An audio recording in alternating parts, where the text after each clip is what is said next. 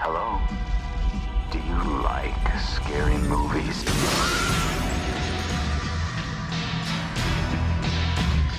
Number one, the body count is always bigger. Number two, the death scenes are always much more elaborate.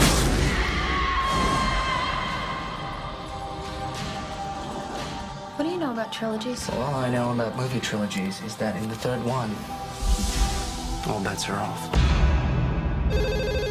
Hello, Sidney. Welcome to the final act. There is one mystery more terrifying than you know. Who is this? Do you want to have this conversation with a polygraph? Is that a threat? When it's a threat, you'll know it. Was that a threat? There is one secret that can never be revealed until the end. Anyone, including the main character, can die. This means you, Sid. From suspense master Wes Craven comes the final chapter in the terrifying trilogy.